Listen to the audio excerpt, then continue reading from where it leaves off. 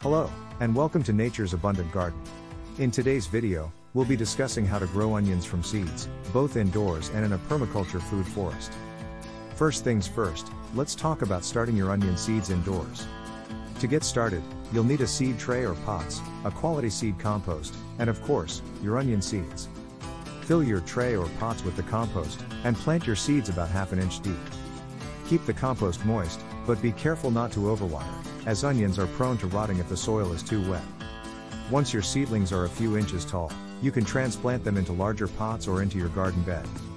Choose a spot that gets plenty of sunlight and has well draining soil.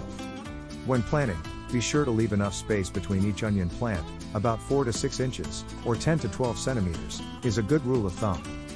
Now, let's talk about how onions can fit into a permaculture food forest. As you may know, the goal of a permaculture food forest is to create a self-sustaining ecosystem, where plants and animals work together to create a diverse and productive environment.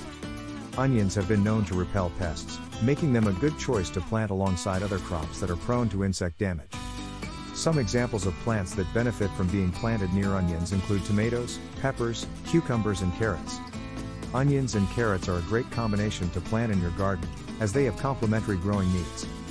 Both plants prefer well-draining soil and plenty of sunlight, making them a good choice to plant in the same bed. One of the main benefits of companion planting onions and carrots is that the onions can help to repel pests that are attracted to carrots, such as carrot flies. The strong scent of onions can help to mask the scent of the carrots, making it harder for pests to locate them. But the benefits don't stop there. Planting onions alongside carrots is said to improve the flavor of both crops. The onions are thought to enhance the sweetness of the carrots. So there you have it, a simple guide to growing onions. Happy gardening!